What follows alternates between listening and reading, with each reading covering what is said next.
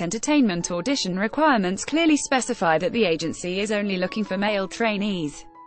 While producer Bang Shi-hyuk never confirmed, his boys-only policy may be from the complete and utter failure of Glam, Big Hit Entertainment's first girl group ever.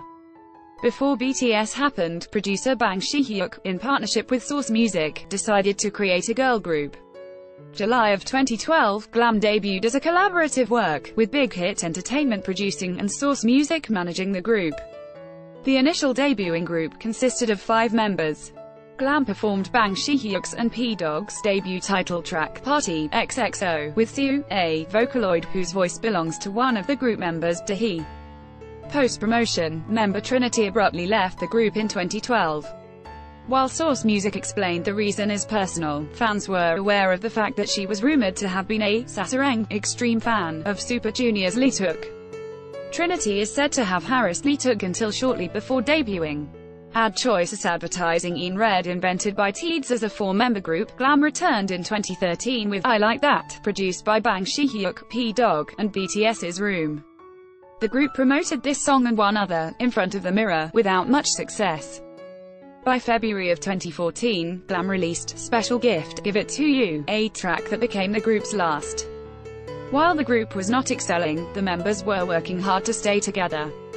This effort shattered when member Dahi was found to be involved in one of the nation's biggest scandals of the year with a married actor Lee Byung-hun. By September of 2014, Dahi, also referred to as her real name Kim Si-won throughout the investigation, was arrested for threatening Lee Byung-hun. She, and an accomplice who was found to be model Lee Ji-yoon, requested the actor to pay 4.5 million US dollars in exchange of a video recorded at a private gathering. This video was said to show Lee Byung-hun making lewd comments and being inappropriate. When Lee Byung-hun reported Dahi to the police, she looked up flight tickets to escape the investigation. The authority issued a warrant, officially arresting Dahi on September 3, 2014. From then on, Dahi submitted multiple written statements reflecting on her actions and asked for leniency. By January of 2015, the case found Dahi guilty of attempted threat. During the first trial, she was sentenced to a year of imprisonment. When she appealed, the court re-sentenced her to a year of imprisonment and two years of probation. She ended up getting out on a $20,000 USD bail, made possible because Lee Byung-hun didn't want harsh punishment. Your browser does not support video.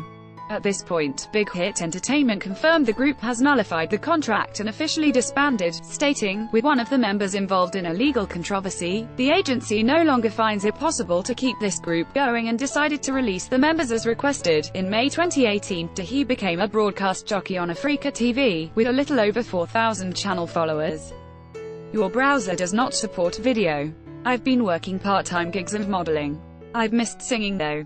I used to do Instagram lives, but a couple of my friends helped me set this up. Dahi the agency's supporters also believe, aside from the whole glam issue, that there is no reason for Big Hit Entertainment to risk producing a girl group again, especially when it now has the know-how of managing a boy group like BTS into global success.